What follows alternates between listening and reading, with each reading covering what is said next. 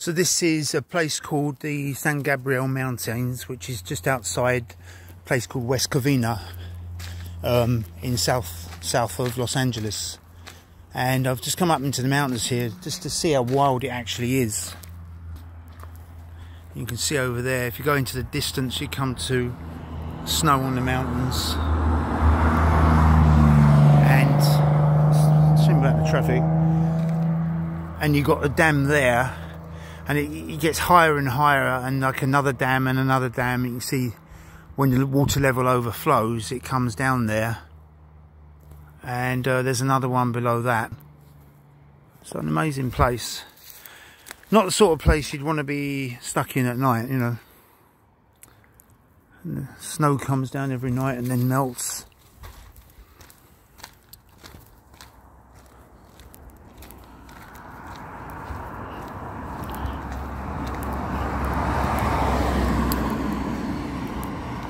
So there's been quite a bit of snowfall and uh,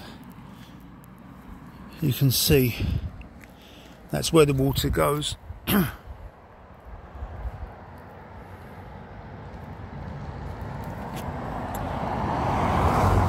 so way over there in the distance San Gabriel Dam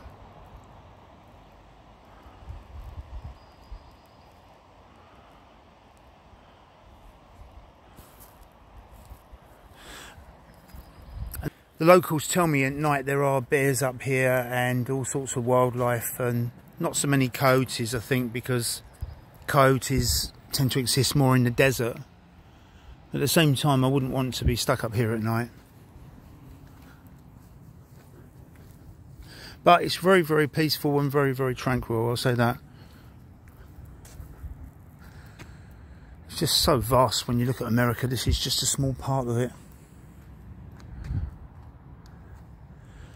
And my friend and I were driving back last year, last September, from the Mojave Desert, and we saw by the side of the road what I can only describe as a an alien. I mean, I don't know. To this day, I don't know what it is. There's uh, cacti growing down there. See some sort of cacti.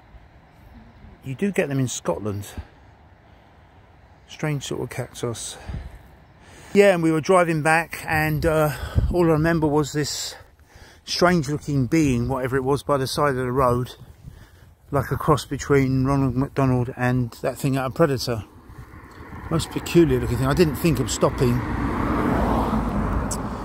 because I didn't know what the consequences would be.